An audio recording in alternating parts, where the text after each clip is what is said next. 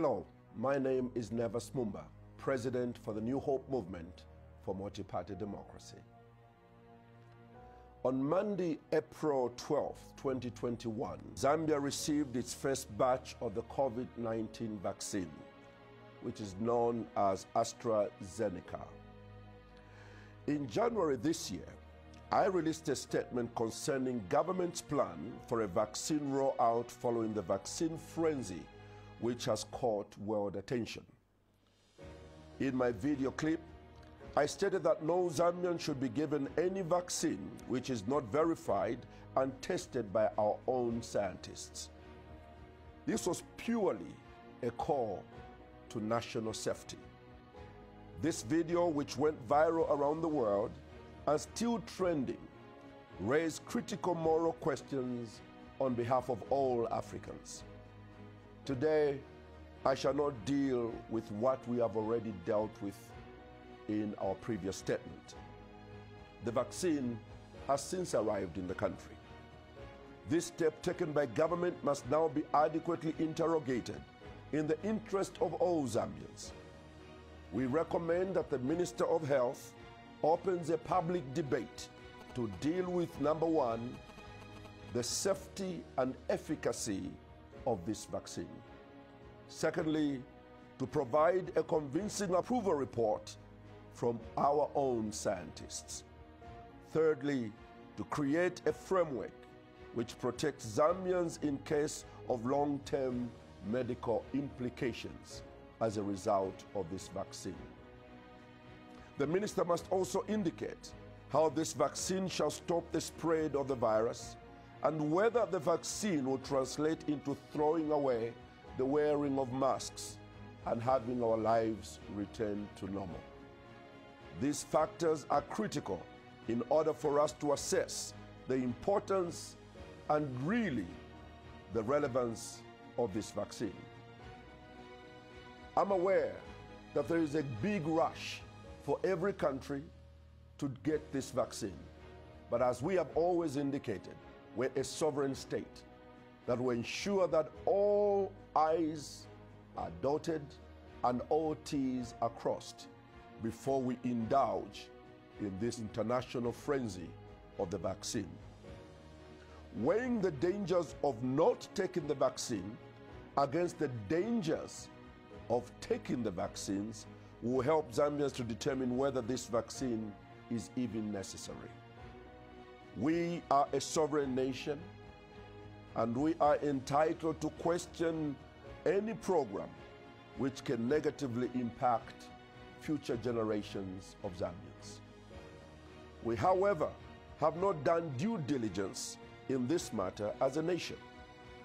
We were all aware that the coming of COVID 19 would be followed by production of a vaccine that could be imposed on the global community by introducing a vaccine passport, for instance, without which one is unable to visit other countries. This is a huge challenge for those that will feel uncomfortable in taking this vaccine. As President of Zambia, elected President, I will do the following. I will sponsor an aggressive national information dissemination program to educate and to listen to the fears of the Zambian people. Secondly, I will insist that people must have a choice to take the vaccine or not, to take it best on their own personal convictions or conclusions. Thirdly, I will further engage the global community on our sovereign stand as a nation, that our citizens are to take individual positions and must never be coerced to take the vaccination.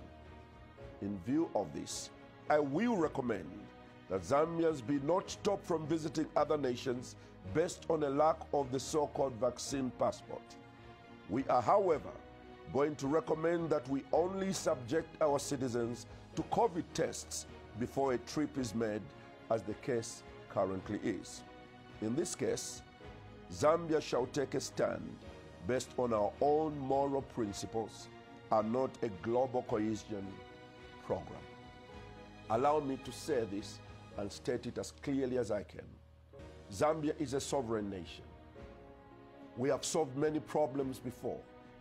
We have a global pandemic, and I understand that we need a global solution to this pandemic. But that does not take away the sovereignty of nations. And I believe that what we are asking for is not too much. The United States of America has their own system of verifying whatever vaccine or medication for that matter that is distributed amongst its population. Europe, the same. They will never give to their citizens any medicine or vaccine that they have not proven to be safe, they themselves, even though it comes from the United States. Europe must be satisfied that it's good for their people. That is why governments are elected to protect and defend the people who put them in office. Here in Zambia, we may be a small country. We may even be called poor, unable to make our own vaccines. But that does not mean we can't check it out. And this is our position as a New Hope movement for multi party democracy. As president, I will not endanger the lives of our people.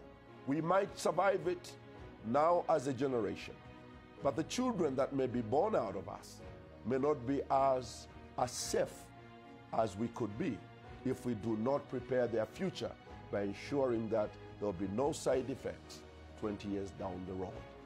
It is for this reason that it's incumbent upon this government of the Patriotic Front to ensure that there is verification, authentication of the efficacy of this vaccine we're going to take.